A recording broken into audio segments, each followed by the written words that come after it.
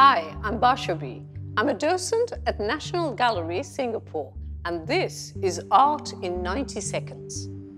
Tiger attacks were frequently reported here in the 19th century, and Sir Stamford Raffles had written that he had made, and I quote, open war against the whole race of wild and ferocious animals. The event depicted here possibly occurred in 1835. A ferocious Malayan tiger leaps out from dense tropical vegetation, terrifying an architect and a group of laborers. These men are surveying a jungle through which they're building a road.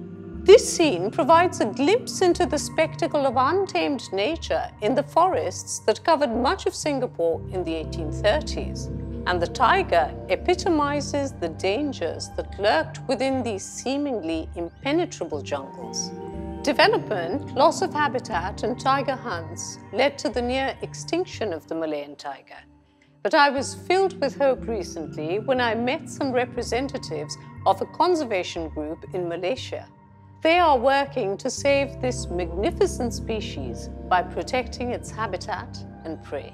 This print is small, but raises big issues concerning ecology and the conservation of endangered animals like the majestic tiger in this print.